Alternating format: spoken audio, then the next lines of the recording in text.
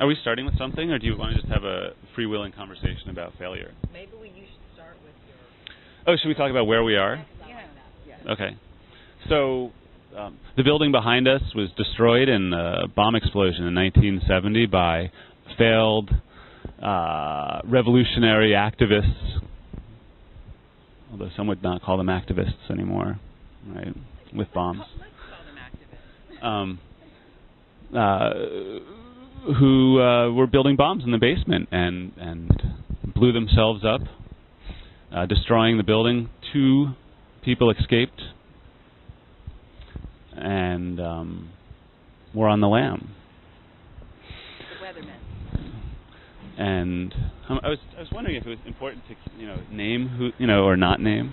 Oh, Um, okay. but you know, just sort of keeping things very general. Um, but but but indeed, it's it was a particular group that failed, right?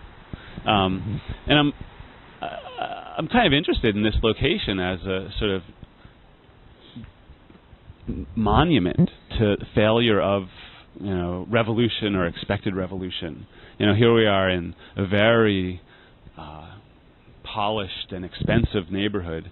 Um, with this memorial to the people who are fighting against exactly those uh, uh, properties of of capitalism and and uh, you know what the Uni- Ownership, right Right. and all of that. right so and here we have it now in the state of disrepair because it's just been purchased for near ten million dollars or something like that. So it's a pretty pretty extraordinary place to sit and ponder, you know, one's and one's group's failures. So, and that was one of the things that I, I don't know, thought was interesting because as a group we've done some interesting projects and also some interesting failures, which I think are just as important as a group. So that's where I wanted to start this conversation. Okay. So to bring it back to us, you know, 'cause everything comes back to the self, right? So. And um, in a sense, the name kind of gives us a huge latitude for for what might be considered failure. You know, because like, well, the Institute for Wishful Thinking. So, well, you know, we didn't really expect to do that. You know. Uh, so, in that sense, it's uh, you know, we were we're self-deluded from the start, and we admit it. coming from whether it's the 60s, 70s, or 80s, where there was a lot of space and a lot of creative uh, seeming potential in the city for groups such as ours to sort of now look back and think about that compared to now. I mean, are we doomed to failure? Was that time period doomed to failure? I guess the question is, you know, are, are, is New York like on on some sort of downward slide, and are people going to start going somewhere else? Have they already started going other places? I guess they they have, right? Um, I mean, what's it what's it like in Harlem where you're working, Susan? I, I'd say it's. I was just thinking of that. It's sort of like maybe. I mean, it's already not in that stage it was here in the 60s. It's already past that again, and it will continue to gentrify, I think, until it changes and looks kind of like this. So, um, yeah, I don't know. Where do where do people go next? I don't know. And I guess and I guess what do you do? You, I mean, I guess on the terms of failure, is that just, um, you know, where that path goes and how you do you call that success? Some people would call that success. Some people would call That's that right. failure. So That's I guess right. I think that definition is so um, different for whoever you're talking to that it's hard to put any. You know, it's hard to define that in a way that everyone would agree. And you know, in the same way that this was a failure in that it exploded, two people died. Um, it was it was kind of the end of the movement. It you know, which was already. And you know, in the same way that that the radical movement in Italy, uh, which which was so much more successful than uh, for a time than, than than the radical movement here in terms of actually having having an impact on people's lives and, and making making change in, in policy. Um, that movement was also crushed because some of the some people were killed. It, I hate to you know get sort of morbid about it, but you know it's like so we do keep you're you're not really a failure until you're dead. And and maybe and maybe then you're not even a failure because because people get you know discovered and th- things work that you do. Has just occurs to me. You both have children right um and I don't um I mean it, is that sort of uh I mean I don't even understand the impulse to have children personally even though I realize I wouldn't be here if if other people hadn't had the impulse. Uh, a huge spread of people had the impulse to generate you, right? That's right. That's right. So, but it but it does seem like having children is a is a kind of a a move towards maybe not maybe it's not success, but yeah, what is it? I don't know what maybe potential for success and you never know when that stops. It could be, you know, 300 years from now.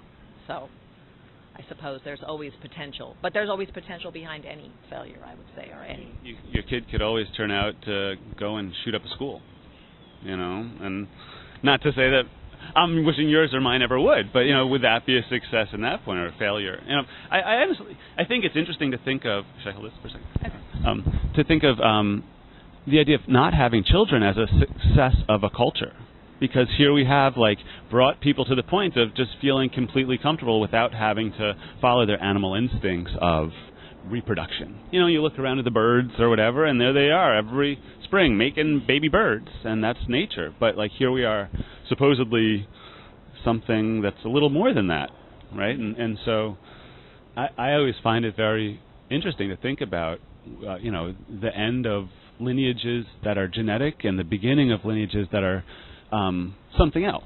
You know, because I think there's this idea of knowledge that's being created and passed as something that's just as generative as as a as a life. You know, so so it's interesting to think. You know, if you could dedicate yourself to creating ideas instead of kids, I mean, everybody can make a kid. You know, so so I, I don't think of, and you know, I, a lot of artists, honestly, who are successful, don't have kids because they, they can dedicate their time to pursuing that success, which is is that a failure? You know, it's a very interesting thing to think about. You know, my grandma would think it's a failure, of course, you know, because her va- values are very different. So maybe it's a value system. so, in the eyes of the Institute, Institute for Wishful Thinking, is there such thing as a failure?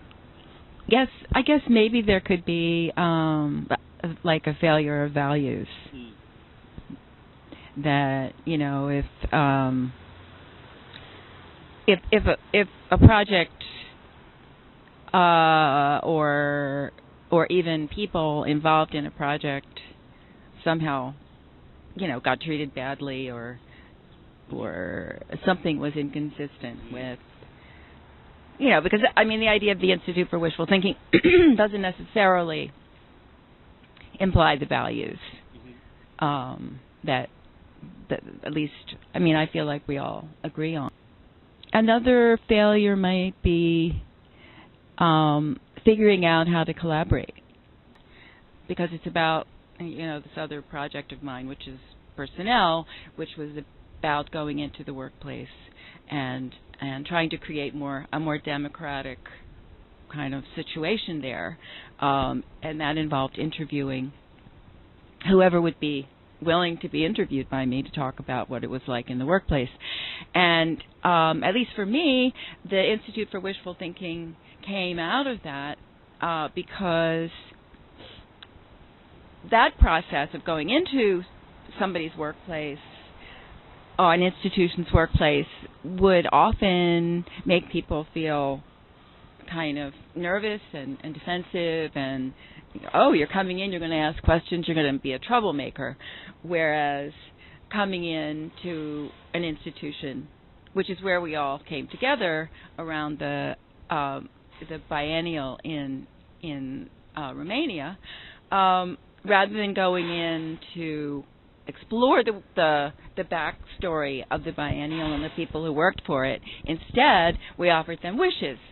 So so they get to critique themselves in a sense or uh, say what they what they need or what they want without necessarily framing it in a negative way. It does feel a bit like a failure.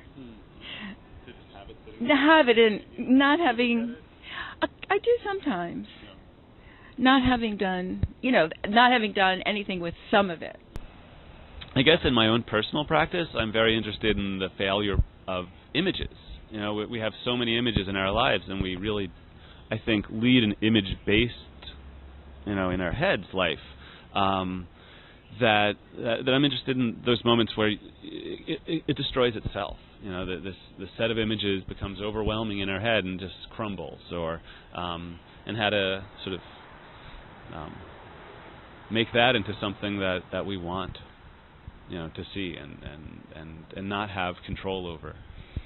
How to make the failure of images yeah. something yeah. that that we see as as a good thing. Absolutely. Absolutely. Because it it's overwhelmed us at this point. I mean we're here in the the the wave has crested and we're in the whitewash of you know this sort of media age we're just tumbled constantly with the screens we have in our pockets and you know uh, increasingly on the streets and and in the subway stations you know it's this Blade Runner future of, of screens that you know are constantly trying to get our attention. Uh, my work is very process oriented, and I think it I think it is primarily about failure. I mean, it's most of the time what I do fails to me, but then it's always even though it's failed and it's sitting aside like your videos of people talking, I always think of it as something that's in the background, maybe waiting to happen. So um, you know, I don't know, maybe like the definition in the book is failure that ends a um, branch and the branch doesn't go any further. But I always think, you know, maybe that branch just needs to be pruned back and it will grow later. So I don't ever, um, it, I don't really see it um, as something ending. In the zeitgeist, that that's changed very recently too. In the last five years, ten years, maybe, where all of a sudden things seem impossible that once seemed possible, and and you know, the those who have have that much more and can really decide who has space to participate. So you know, I, I, I do think that I'm a little idealist in my view that the galleries and museums aren't influencing artists because that's what we see too. You know, so I'd like to think that we're all working independently, but it's interesting to see how things that show up in in a gallery or in a museum show up in other people's work that I see or in my own work, and I find that to amalgam to be fascinating to, to play in, and I, I you know splash around in in that sense of failure. Or do we do we desire some sort of roughness to to rub against, or who do we complain to? right? Isn't that an interesting thing to think about? You know, now point that lens at yourself, right? That you've been pointing at the, you know, these people that we expect to have particular responses to that that you could understand, you know, because they work with people that are incompatible or something. But here we are in a position of privilege where we can choose who we want to work with and how and when, in a sense. So I wonder if we could if we could do that project on ourselves and come up with some answers of you know helping ourselves. Look for our own wishes.